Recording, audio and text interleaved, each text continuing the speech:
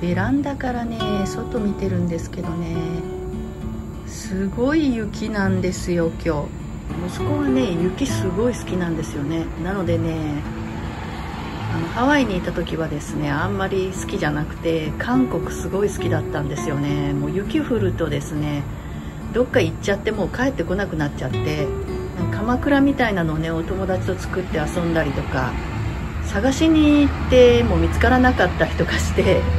夕方冷え切ってねもう体の芯まで冷えて帰ってきたりとかねしてましたね。なんで雪自体はね結構喜んでると思うんですけどね。ここに越してきた時もですね京都は雪積もるのかっていうのをねよく聞いてました。いつもご視聴ありがとうございます。今日はあの外雪降ってまして家の中もすごい暗いんですよね、えー、早速このドーナツライト使ってちょっと撮ってみてるんですけど、えー、今日はですねもうちょっとね台本がね 山のようにあの私の動画はですねシナリオとか台本一切なくぶっつけ本番でいつも撮ってるんですけど今日のはですねもうこの台本がねもうすごい量でそういう台本があってもちょっとまとめて言えるような量じゃないんですね。先日、えー、内覧した2つの家のことからまずは話そうかなと思うんですが。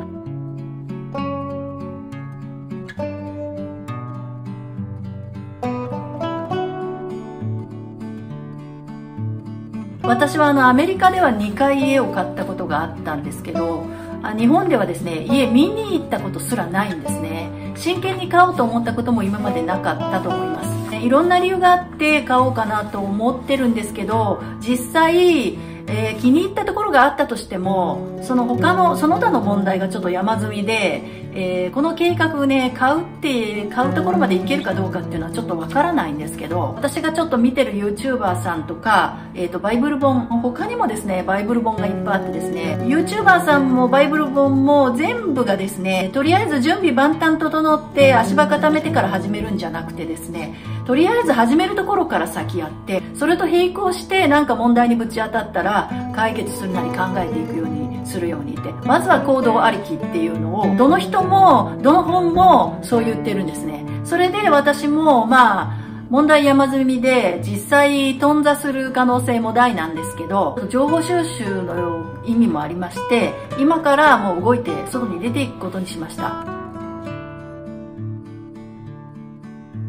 えーと、この見に行った2件なんですけどというかまああの一軒見に行く予定でその一軒はですね、えーと、京都にすごく多いテラスハウスなんですけど2階建てのまあ戸建てみたいなんですけど要は、えー、横につながってるんですね何軒かが。でそういうお家が結構あるんですよ。まあ大体がですね築50年以上なんですよ。お風呂とかもこう膝抱えて入るくらいこう真四角で小さかったりとかあとあの台所も昔風でこう給湯になってたりとか。そのあのテラスハウスのですねフルリノベーションしてる物件をまず手始めに最初見に行ってきました。テラスハウスをちょっと見たかった理由の一つとしてあの築50年以上のうちっていうのが昼間どのくらい暗いのかっていうのと冬場どのくらい寒いのかっていうのをちょっと実際見てみたいなって前から思ってたんですよ。ここに引っ越してきた時にはちょうどタイミング的になかったんですけど京都のリフォームしたテラスハウスって結構賃貸に貸しててペット可っていうとこが多いんですね。それでそういうところにねあの入ることもね考えてたんですね。一つの理由としてはそういうとこ実際住んでみてどうなのかっていうのを知りたかったのでまあまあいいところがあったら入ろうかなと思ってたんですけどちょうど来たタイミングでなかったので UR に入ることにはなってしまったんですけど。えーと、1LDK のテラスハウスで46平米で築54年ってことでフルリフォームしてました。1階は12畳の LDK にリフォームしてあってキッチンも木目調ですごいおしゃれな感じ。びっくりしたのがですねお風呂が狭いのがちょっとなーって思ってたんですけどお風呂がねすごい広かったんですよ。まああの不動産屋さんに聞くとですね壁自体を動かすことができるのでお風呂はあの広さ自体も変えることができるってことですごい今風の綺麗な一坪バスまではいかないんですけどそれに匹敵する広さになってましたねここよりはですね若干狭くなる感じなんですけどまあ、暗さもそんなに暗くはなかったですね。で、2階の方はですね、天井を取って、えー、屋根裏みたいなもう屋根のそのままを生かした感じでこう梁とかがあってそこにライトとかやってて、まあ、これがですねありえないぐらい素敵で今風な感じに変わってました。でおトイレももうすごく綺麗になってて、えー、と2階はですね3畳と9畳玄関のドアももうこう洋風の普通のドアに変わってましたね。ここに来て出たのがですねこんな難しい言葉が書いてあるんですね。一つ一つねこう勉強していくしかないんですけどこれはなんかあのローンが通らなかったりとか違法建築になったりとかする可能性もあるっていう風にネットには出てたんですね。でこういうのもねちょっと自分で知らない言葉とかは全部調べたりとかしてちょっと知識の方をね入れていくようにしてますね。テラスハウスまあ狭いんですよね。2階建てなんですけど。まあ普通のご家族にはちょっと狭いってことで不動産屋さんも言われてたんですけどメリットとしてはですね私みたいな戸建て住みたいんだけども1人1人で住む予定の戸建てとかだと、まあ、まさに面積的にぴったりなんですよね。この物件見てもう一つ分かったことがですねここプロパンガスだったんですね。それで私があの家を買うにあたってオール電化か都市ガスっていうことが希望なんですけど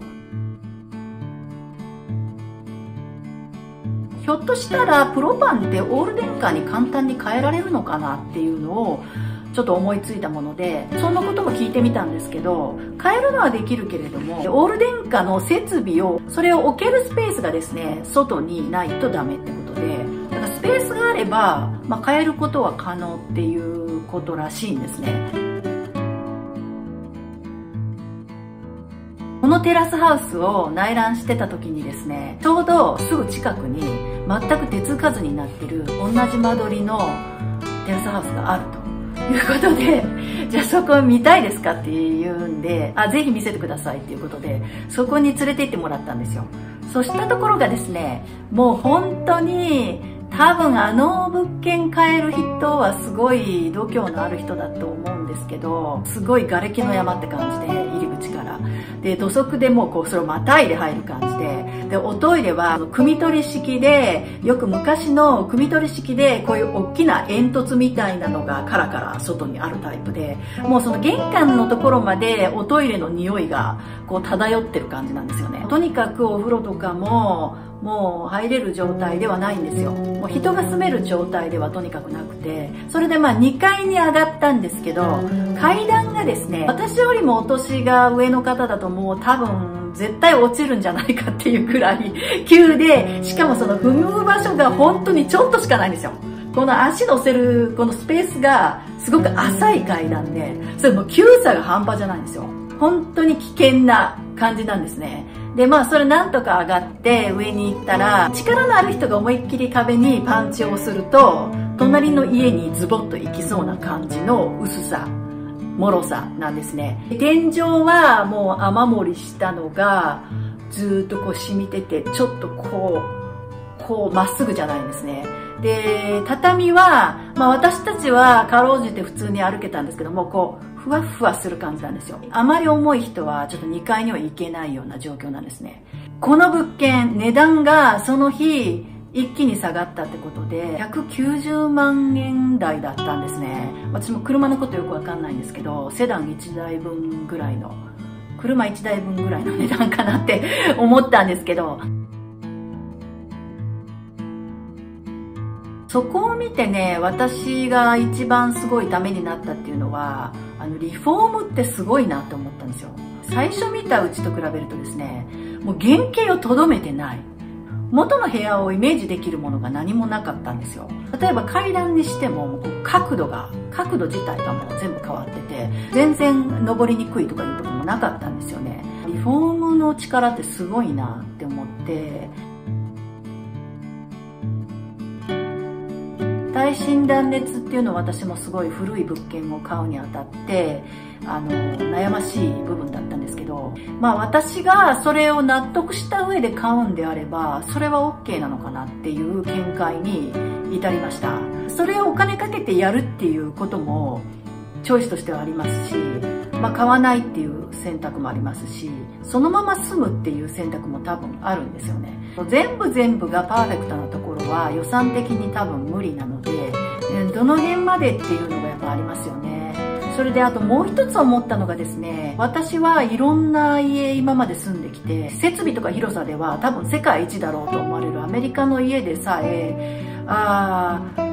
ここがこうだったらいいなっていうのが結構あったんですよ。できるかできないかっていうのはあると思うんですけどまあでも自分がそのここはこうありたいっていうのを叶えたいっていうのがすごくあるのでそのフルリノベーションしてる家っていうのはどうなのかなってすごく思ったんですよ。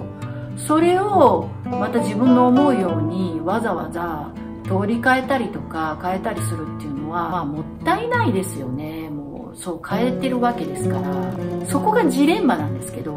だけれどもじゃあボロボロの家を変えるかって言ったら実際ほとんどの人は二の足踏むと思うんですよ。のリフォームとかリノベーションした後の状態っていうのは一般の人にはなかなか想像がつかないイメージできないと思うんですね。適度にボロいっていうところが